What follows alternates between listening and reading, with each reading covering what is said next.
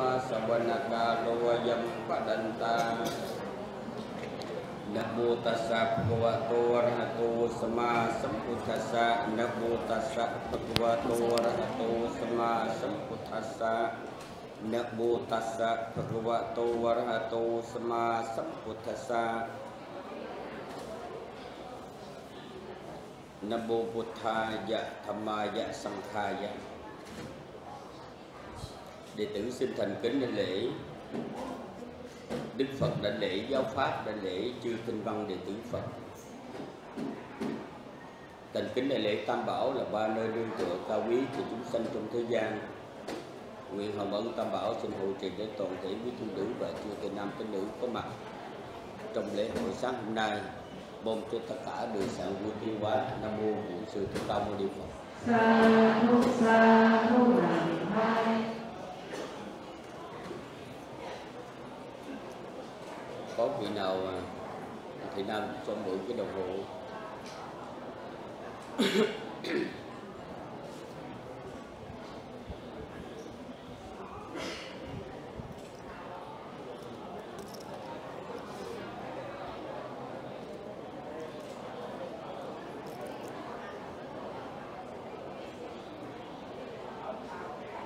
hôm đây. À, ở đây thì chúng ta cũng không có chương trình gì nhiều. Chỉ có lễ dân y thôi. Cho nên à, sư sẽ thuyết cho người nghe thời pháp 45 phút. Đến 9 giờ 45 chúng ta sẽ trả lại à, cái thời gian cho cái chương trình lễ hội. À, kính thưa quý vị, thông lệ hàng năm thì ngày 19 tháng 9 âm âm lịch tại chùa Sư Lý Bùi Sáu là lễ dân y các thứ ná lễ dân y năm nay, thượng tọa trụ trì đã mời sư thuyết cho phật tử trong lễ hội nghe thời pháp.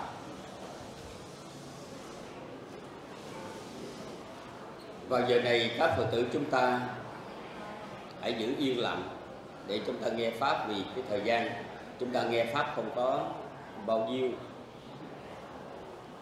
Và quý vị cố gắng để nhớ những gì mà chúng ta đã được nghe.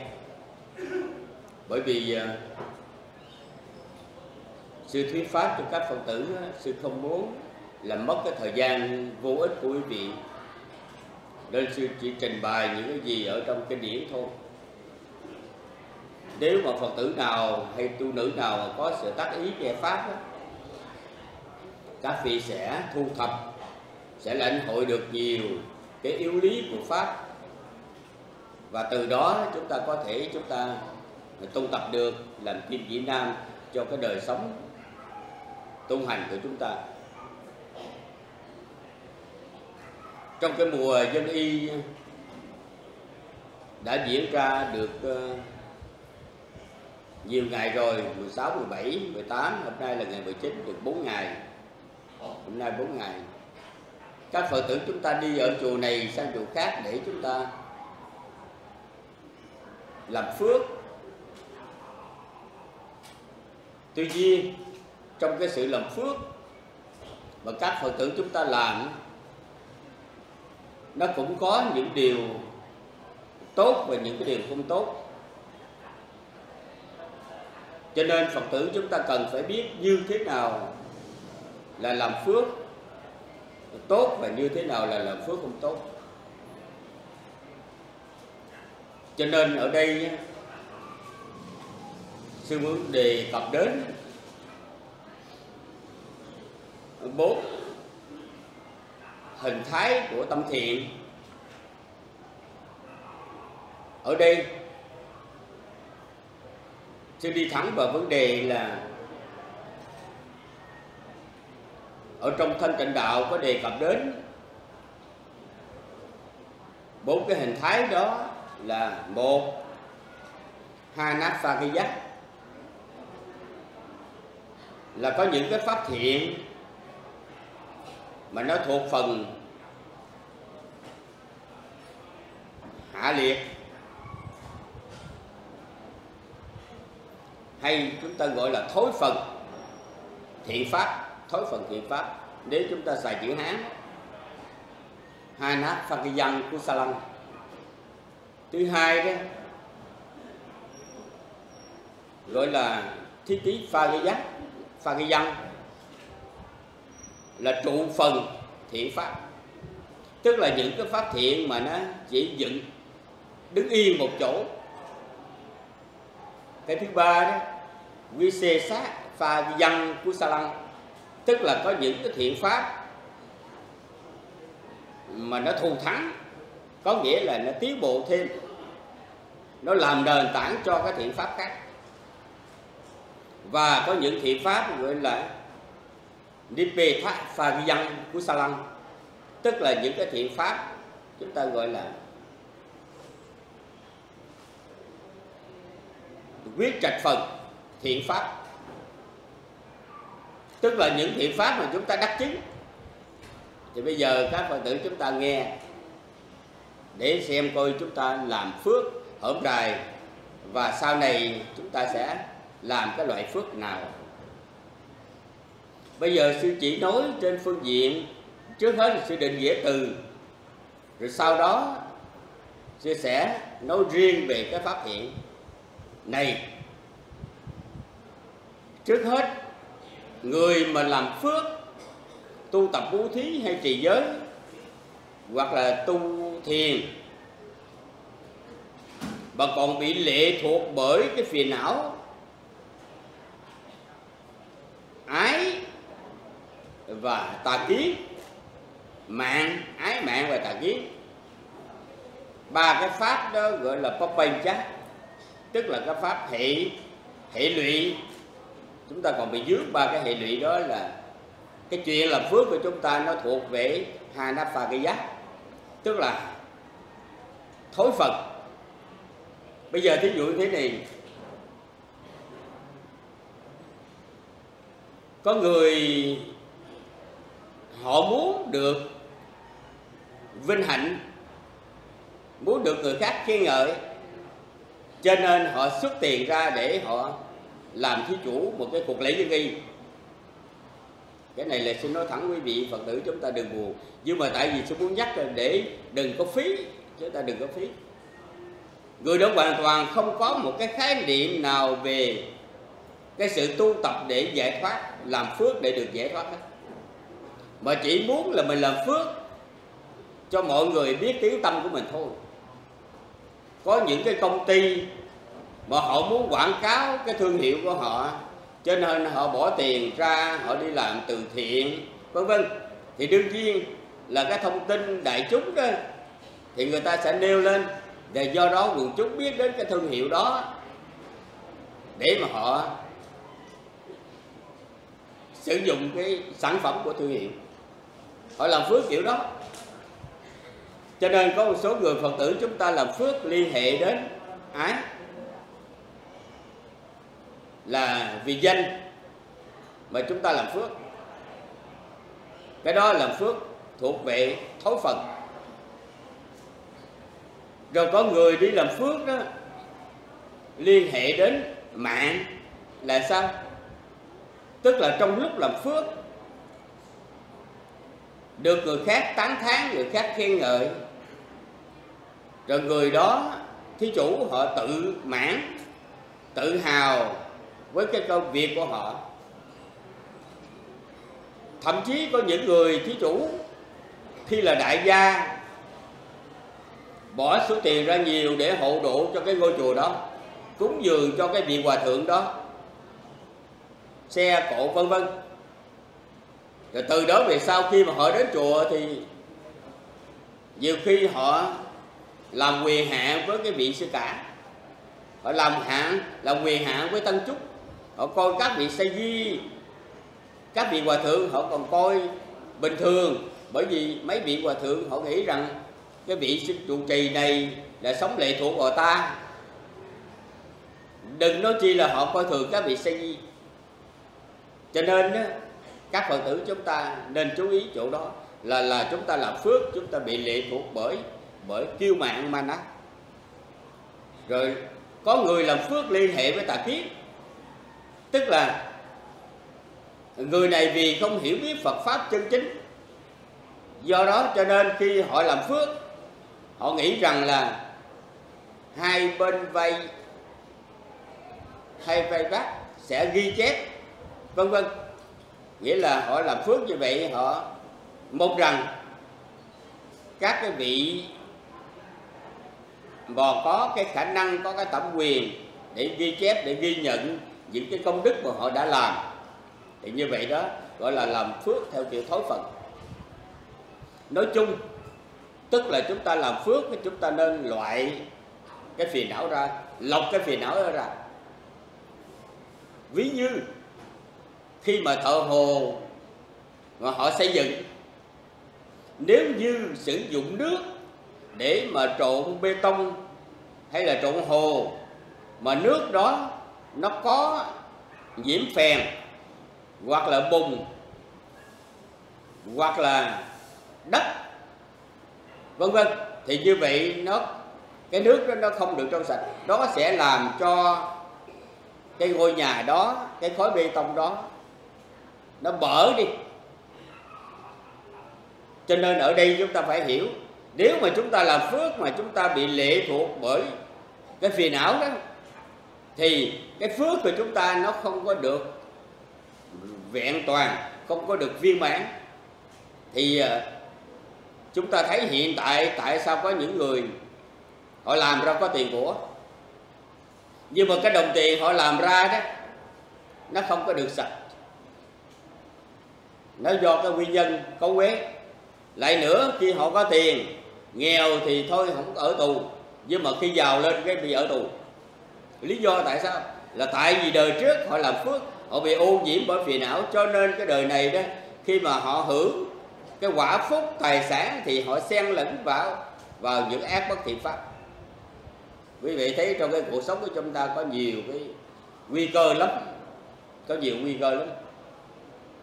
Thành thử, cái điều thứ nhất phật tử chúng ta phải chú ý là làm phước bằng cái loại thiện mà gọi là hana phakayan tức là thối phần là chúng ta đừng có làm.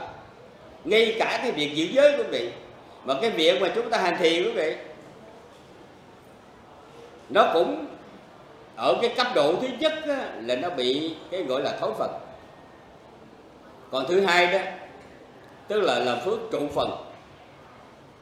Trụ phần tức là đức phật này giải thích rằng thi tí pha cái văn là có người họ,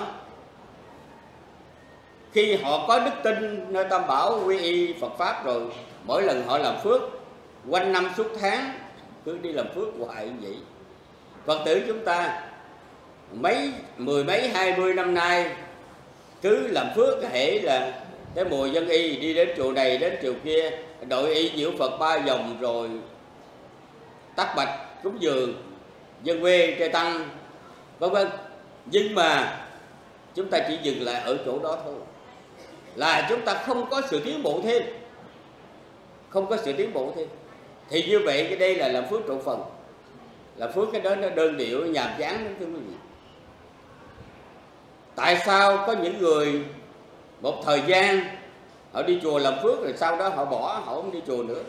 Là tại vì đối với họ, cho quá lắm là chỉ là thiện pháp trụ phần thôi chứ họ không có tiến bộ thêm.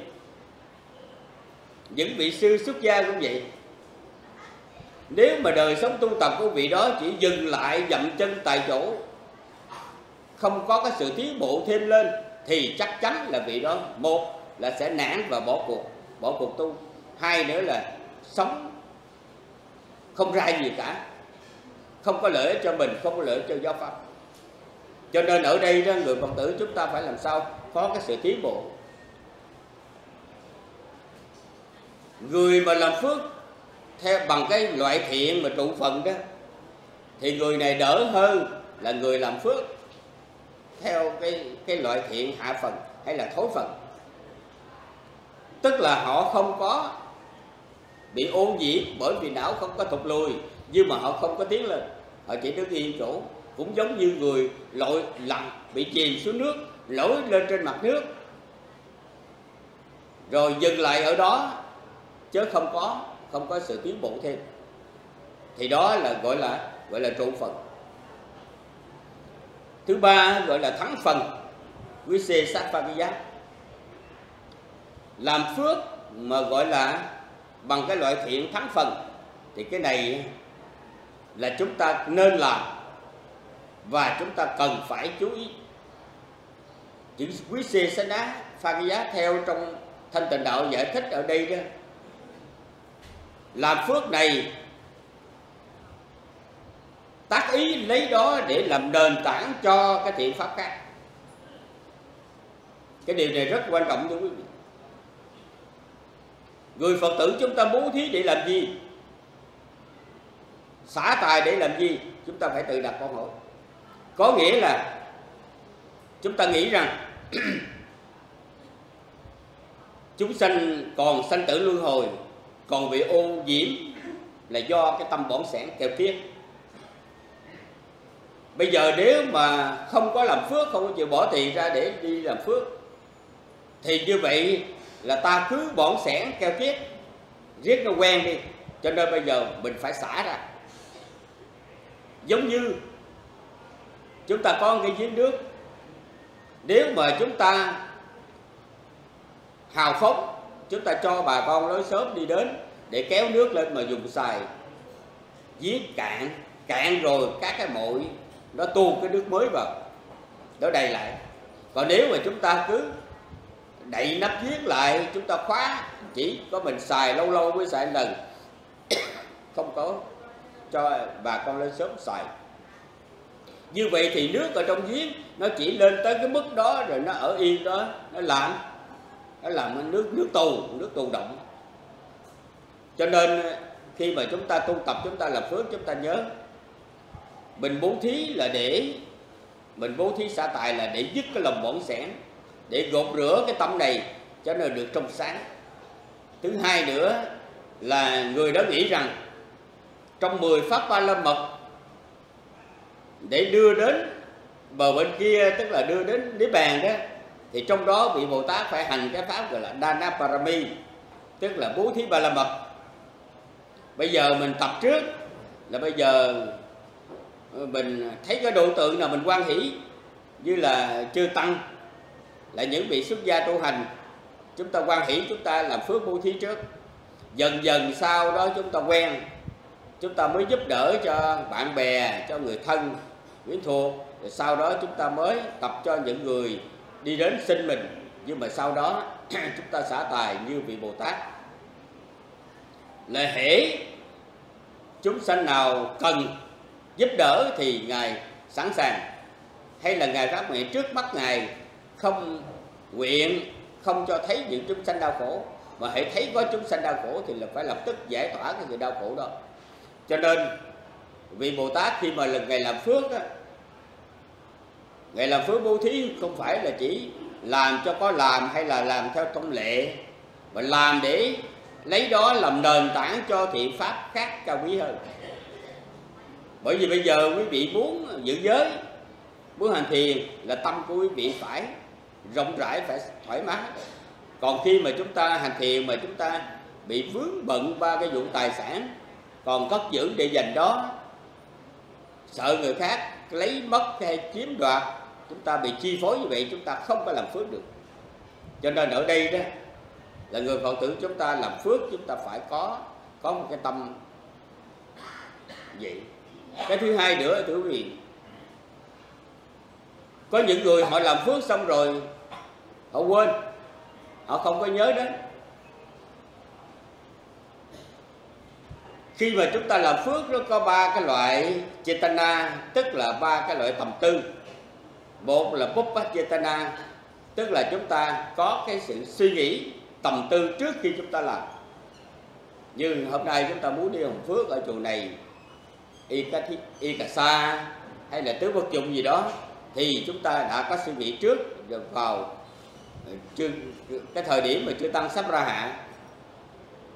Đang khi mà chúng ta làm đó, chúng ta có sự quan hỷ tác ý nghĩ rằng ta đang làm phước, như vậy gọi là Bujana Chetana sau khi vừa làm xong, lúc mà chưa tăng phúc chúc phước báo cho quý vị, thì lúc bây giờ phật tử chúng ta quan hỷ một lần nữa, gọi là aparat chetana nhưng mà sau sau này đó, cứ mỗi dầu cho không phải là mùa dân y, nhưng mà mỗi ngày người phật tử chúng ta là cha gà nước sa tí tức là tùy niệm về cái cái hạnh bố thí. Cái chúng ta lấy cái cái pháp bố thí chúng ta đã làm đó để làm aramana là làm cảnh làm cảnh trợ cho tâm thiện, cái phát sinh tiếp. Thì như vậy người nào mà khéo tác ý, biết lấy cái pháp thiện đã làm để trợ duyên, làm cảnh duyên cho cái pháp hiện tại sanh lên, thì như vậy được gọi là cái người thắng phần tức là tâm thiện thắng thần khó lắm, thưa quý vị, khó lắm. Làm cái này phải thường xuyên làm, thường xuyên suy nghĩ, phải có sự hiểu biết và thuần thục mới được. Cho nên sư muốn nhắc ở đây để cho các phật tử chúng ta nhớ là không phải chỉ có đang lúc làm phước, chúng ta mới quan hỷ trong cái việc làm phước. Mà những việc phước nào chúng ta đã làm rồi, chúng ta phải nhớ, đi nhớ lại, lặp đi lặp lại nhiều lần, cho tâm thiện đó nó mạnh lên thì như vậy mới đưa đến đưa đến một cái thiện pháp khác. Còn nói cách khác như thế này là chúng ta phải nhân đôi, nhân ba. Cái tâm thiện nó lên. Nếu mà quý vị aparapara chetana tức là sau sau đó chúng ta cứ nhớ thiện pháp, thì cứ nhân đôi. Là tại sao vậy? Bởi vì mỗi lần mà nhớ đến cái pháp thiện mình làm, là một lần khởi lên tâm thiện. Sáng hôm sau chúng ta nhớ đến pháp thiện, chúng ta lại khởi lên tâm thiện khác. Như vậy thì à, thí dụ bây giờ quý vị làm phước một ngày, một buổi dân y, một buổi trai tăng. Nếu mà quý vị chỉ vui trong ngày hôm đó thôi, là quý vị chỉ có thiện pháp trong ngày hôm đó. Nhưng mà qua ngày sau ngày sau ngày sau nữa tháng sau năm sau nữa chúng ta cứ nhớ hoài cái chuyện làm phước của mình. Thì như vậy là chúng ta nhân lên 10, 100, 1 ngàn lần. Lấy cảnh đó để mà chúng ta làm cảnh thiện. Thiện trợ cho thiện bằng cảnh duyên. Kusalo thamu kusala sattamasa aramade nó pachiye nó pachiyo ở đây chúng ta phải hiểu như vậy. Lấy pháp thiện làm trợ cho pháp thiện sanh lên bằng cảnh duyên vị nào, phật tử nào mà có học vi diệu pháp, có học duy hệ thì chúng ta biết rồi. Cái đó đó, cái đó mới là cái điều quan trọng. Tu là tu ở chỗ đó. Cho nên các phật tử chúng ta đi chùa làm phước. Nếu mà chúng ta lấy cái thiện pháp đó, lấy cái phước báo đó, để mà chúng ta làm cái nền tảng sanh sôi nảy nở thêm những thiện pháp khác như vậy người đó gọi là làm phước bằng cái tâm trị. Quy xê sát pha dân phú sa làm phước thắng phật. Bây giờ ở nhà đó, ai cho mình một dạ lúa, mình đem trà ra thành gạo cái mình nấu ăn, vài bữa hết rồi, thưa quý vị. Với mọi người nào biết đó, họ sàn sảy cái dạ lúa đó ra. Họ chỉ ăn nửa dạ còn nửa dạ họ làm giống cái họ kiếm miếng ruộng nhỏ nhỏ nào ở sau hè? Cái họ bắt đầu họ gieo mạ. Họ gieo mạ lên cao chút cái họ nhổ họ cấy. Thế là dần dần hai, ba mùa như vậy thì mỗi lần họ thu hoạch là có cả nhiều dạ lúa. Rồi dần dần chúng quý vị, xanh sôi nảy nở nhiều. Cho nên chúng ta là phước chúng ta phải biết. Chúng ta phải biết cách. Người khôn hay không khôn, trong cái việc tu tập là do nhờ ở chỗ có trí tuệ khéo tác ý hay không khéo tác ý? Cho nên các phật tử chúng ta phải làm như vậy. Còn bây giờ, khi mà chúng ta nói đến cái điều thứ tư, được gọi là niết bê thá pha dân kusalang cái thiện pháp thắng phần à, thiện pháp quyết trạch phần, thưa quý vị. Hồi nãy giờ sẽ nói với quý vị đó, là chúng ta làm phước mà chúng ta bị ảnh hưởng bởi phiền não đó thì cái này là vô minh duyên cho phúc hành. Hay là thủ ái, thủ duyên cho nghiệp hữu. Nghiệp hữu thiện, thân, nghiệp hữu, khẩu nghiệp hữu, ý nghiệp hữu. Nhưng mà khi chúng ta làm phước trụ phần, thì có thể là chúng ta làm phước bằng cái tâm thiện dục giới. Mặc dù nó không tiến quá nhưng mà đó là tâm thiện dục giới với ly trí còn khi làm phước thắng phần đó, chúng ta làm thiện thắng phần, đó là chúng ta làm bằng cái tâm đại thiện hợp trí. Tức là thiện dục giới tương ương trí tuệ, chúng ta mới tiến bộ lên. Nhưng mà trong cái thiện đó chúng ta phải bỏ bực. Tức là chúng ta phải biết rằng cái thiện pháp mà thuộc dục giới nó chỉ là parita kama tức là cái pháp hy hiểu thôi. Nghĩa là cái tâm thiện đó quý vị học luận trên tâm quý vị thấy tâm thiện dục giới dụ sanh khởi nhiều lắm á, là trong một lịch trình chỉ có bảy cái sắc na động lực thiện thôi. Rồi nó xen lẫn cái lộ tâm khác. Còn trong khi đó nếu mà chúng ta dùng cái pháp thiện này để mà chúng ta làm nền tảng chúng ta tu tập đắc chứng được thì sắc giới. Thì sắc giới thiện sắc giới đó tâm thiện sắc giới đó mạnh hơn chúng mạnh hơn thiện dục giới. Có thể là chúng ta nhập thiền lâu hơn samapati lâu hơn một ngày, hai ngày, ba ngày, toàn là cái tâm thiền thiện không? Hay là chúng ta đắc được thiền vô sắc giới? Cao hơn nữa là chúng ta dùng cái thiện dục giới đó, chúng ta tu tập làm sao để chúng ta chứng đắc được thiện siêu thế là tu được quần đạo, tu tư đà hàm đạo A Na hàm đạo a la hán đạo tâm đạo Makhachitta nó là Lokuttara Tá là tâm thiện dục giới cho nên ờ, người phật tử chúng ta cần phải hiểu rằng thời buổi bây giờ chúng ta đi làm phước quanh năm suốt tháng chúng ta chỉ xài cái tâm thiện dục giới thôi. Chúng ta chưa bước chân lên tới cái nấc thang thiện sắc giới nữa, đừng nói chi là thiện siêu thế. Thiện đấu đại, tức là thiện sắc giới, thiện vô sắc giới là đắc thiền đó. Chúng ta chưa có nữa. Cho nên không thể nào mà chúng ta đắc được đạo quả ngày xưa thời đức phật, những cư sĩ, nam nữ cư sĩ, cần sự nam, cần sự nữ trong phật giáo. Khi mà họ đi chùa, họ đi làm phước, nhưng mà họ cố tình ngồi nghe đức phật thuyết pháp. Hồi nãy còn phàm phu, nhưng mà vừa nghe xong từ pháp là họ đắc chức quả tu đường quần. Họ đạt được cái thiện cao cấp, tức là thiện siêu thế. Rồi từ đó cái họ mới chấm dứt sanh tử luân hồi cho nên, khi mà chúng ta làm phước sư muốn làm sao các phật tử chúng ta phải hiểu thật nhiều để mà chúng ta có thể tu tập cho tiến bộ cao hơn. Trên chúng ta tu tập đừng để cho chúng ta dậm chân một chỗ, nhất là đừng để cho cái cái sự tu tập của chúng ta nó thụt lùi. Tu càng ngày, chúng ta phải tích lũy nhiều công đức nhiều phước báo. Chứ không phải tu tập càng ngày, gây nhiều tội lỗi. Không nên, thưa quý ở đây xin nhắc chung cho các phật tử chúng ta chú ý. Có những vị xuất gia, hồi mới xuất gia là thanh tịnh. Nhưng mà xuất gia thời gian sau càng lâu càng lâu thì nó càng quế nhiễm đó là bị thụt lùi có những người phật tử vậy khi họ mới quy tam bảo đi vào chùa làm công quả, thì cái tâm của họ thanh tịnh trong sạch họ tạo phước đó. nhưng mà tu tập thời gian rồi bắt đầu họ thụt lùi, họ tạo cái ác nghiệp thí dụ như ở đây xin nói xin lỗi nói chung đó. tức là có những người phật tử, thí dụ lúc ban đầu vô làm công quả khi họ làm công quả ở chùa, thì phật tử đi đến chùa, nhiều khi cũng tặng biếu cho họ này kia, nghĩ họ công quả, thấy họ tội nghiệp hoặc là chưa tăng cho họ bánh trái này kia, nhưng mà dần dần nó bắt đầu họ lấy. Cái nào cũng dường cho ta tăng đem xuống bếp rồi bắt đầu họ đem về, họ đem gì đó cái đó chúng ta tu tập, không phải tu tập thiện pháp tăng lên, mà chúng ta tu tập giảm xuống, làm cho chúng ta, lần lần chúng ta bị giảm xuống.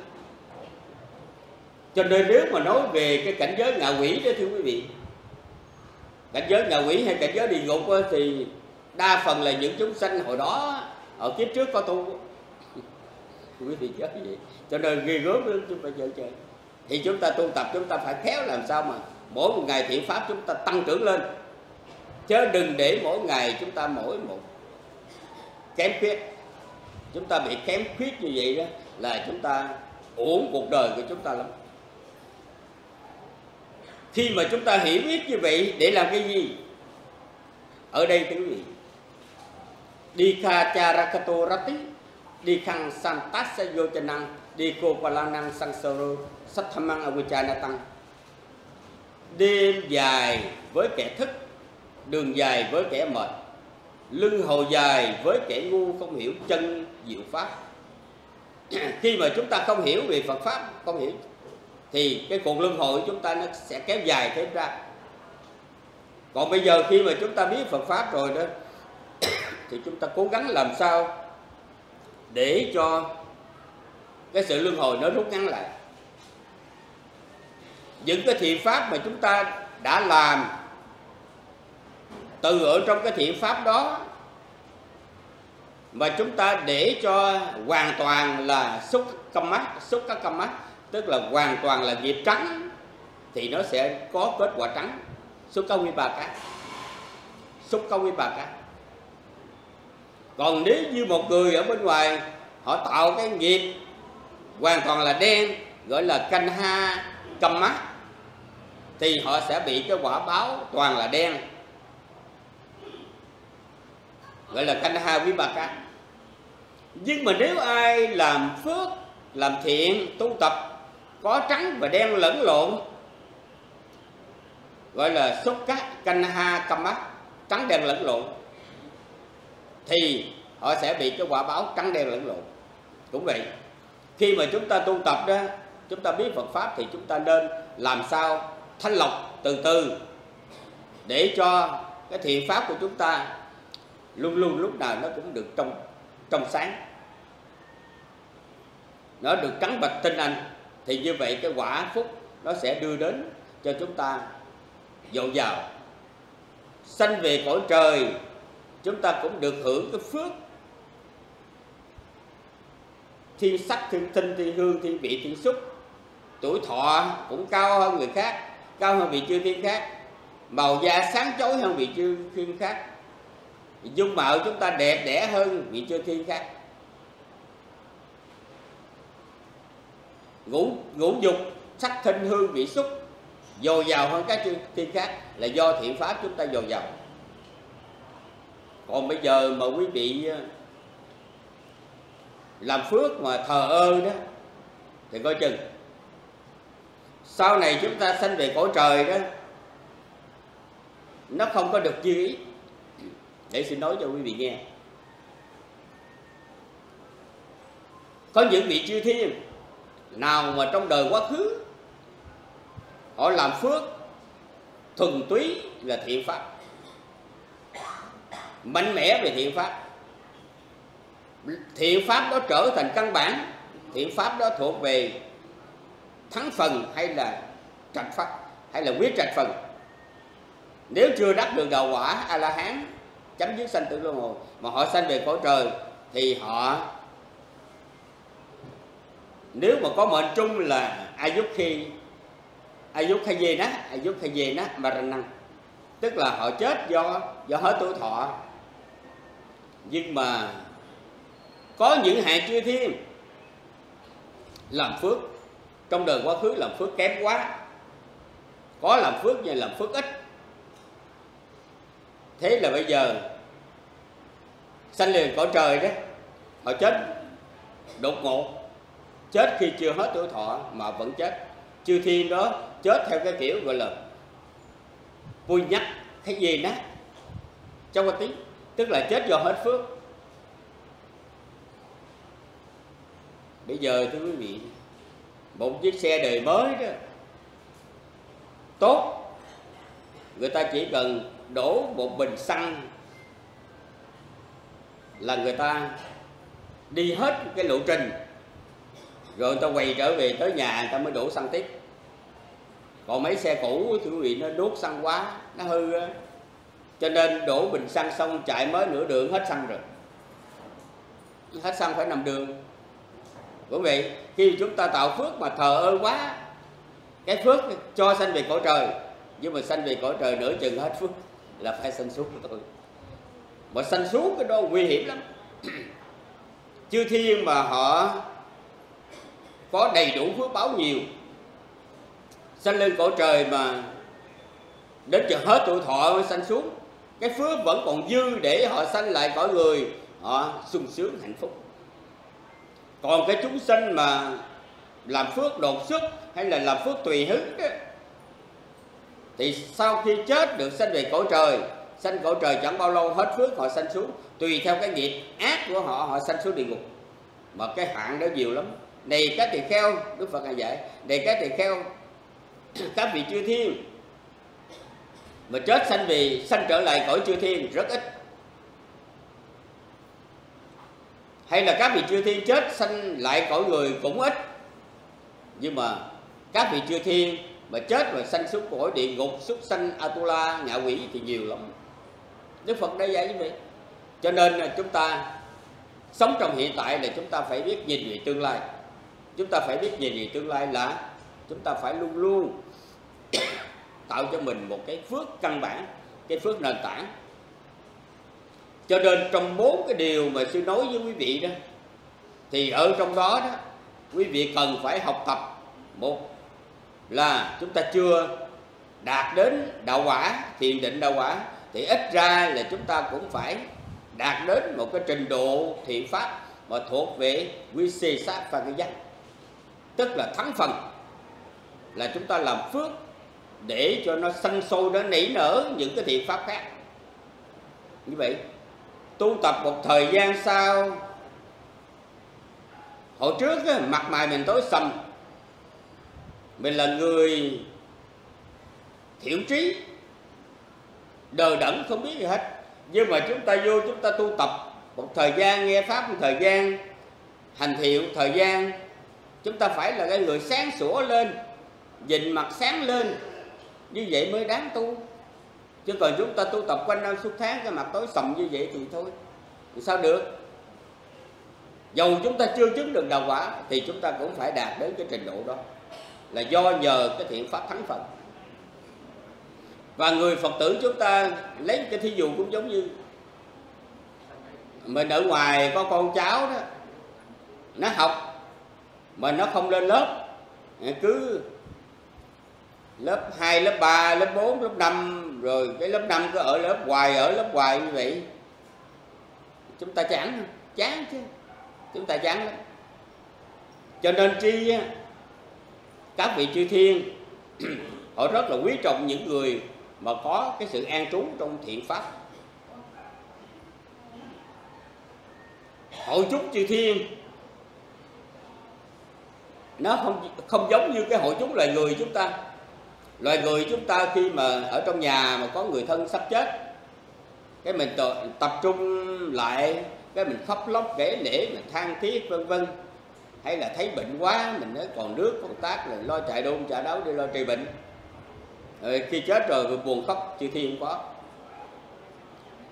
Vị chư thiên nào mà chết do hết tuổi thọ đó, tức là chứng tỏ vị chư thiên có phước báo nhiều nhưng bây giờ hết tuổi thọ rồi.